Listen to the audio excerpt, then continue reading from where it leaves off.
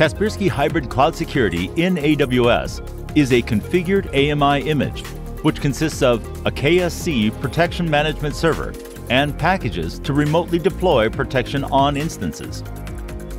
For the product to operate, AWS infrastructure must be configured in advance. To simplify this process, you can use the CloudFormation template available on the product page in Marketplace AWS. A link to the instructions can be found in the Additional Resources section.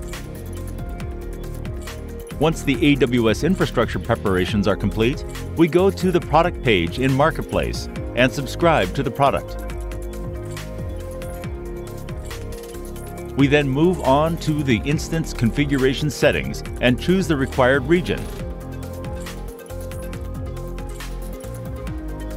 Instance size, VPC,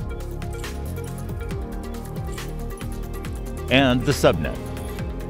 In the Security Group Settings section, we specify the security group that was created when preparing the AWS infrastructure.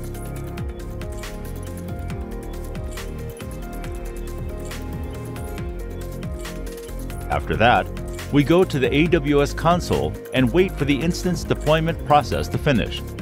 This process could take around 40 minutes. The instance with KSC is ready. Now we need to attach a role to the instance so there is access to the AWS API and to protection deployment.